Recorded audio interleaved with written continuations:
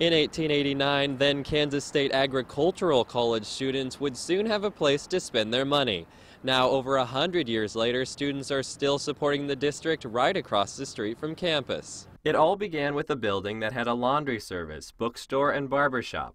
And more businesses would follow, including Olson's Shoes in 1912. 78 year old owner Edwin Olson has spent his whole life in the shoe shop, and he says he's noticed some things along the way. Just the general people, but still the things that haven't changed, still students. Aggieville's always been a student place. But for a business that you might think is out of place fixing heels, soles, and stitching up shoes, Olson says Aggieville is right where they should be. I think we fit in pretty good. Uh, but we have a lot of sorority girls, fraternity guys coming with their boots and their shoes. And Olson isn't alone. Krista Bramhall is the interim director of the Aggieville Business Association. She also owns two bars in the district. She says it's the people that got her to invest in Aggieville. The energy and the um, passion that the business owners have down here was exciting. Um, it's, it's contagious. Scott Sieben owns Kites Bar and Grill. He says the diversity of the district is what makes it great. It's not just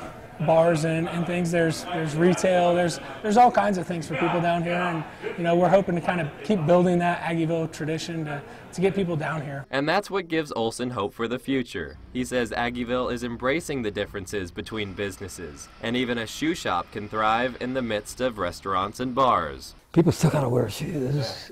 Even when a business closes, each owner I talk to says the future certainly looks bright in Aggieville. In Manhattan, Alec Gartner, KSNT News.